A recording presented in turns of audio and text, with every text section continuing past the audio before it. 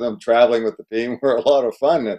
The odd time, very odd time, I had dinner uh, at, at the kind of the main table. You know, the team goes out for dinner, and I was late coming into the dining hall, and all the uh, players' tables were filled. I had to sit with King and and Harold, and I guess uh, some of the other management.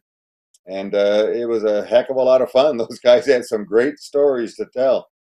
In fact, Joe, I don't know whether you want me to speak to the uh, to the best coach I ever had.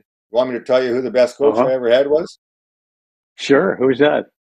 I mean, I had well, there's a story that goes with it. I mean, I had Toe Blake, of course. I had Sid Abel, yeah, uh, Roger Neilson, Red Kelly, lots of great coaches.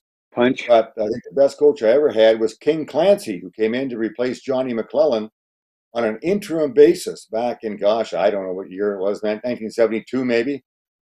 And we were in Los Angeles for that first game that King took over, and we had to win that game to uh, get into the playoffs.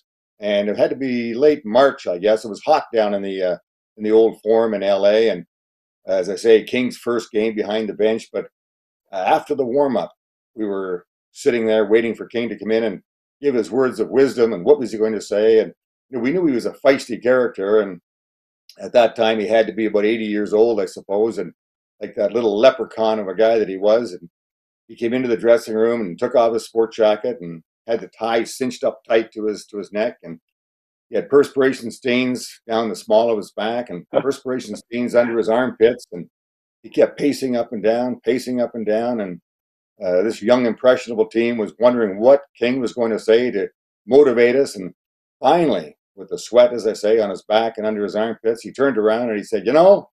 It's so goddamn hot out there, you could run a boom of logs down the crack of my ass.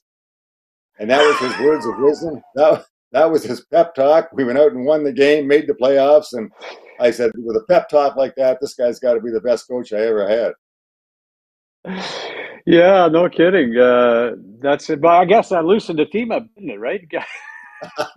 you, know you got right. You got you you got a coach who's pretty loose and allowed you to be a little bit loose, right? No X's and O's from King. No X's and O's. No, no yeah, the X's and O's were a little little after King's time, I'm sure, as well as video and everything else. Um, so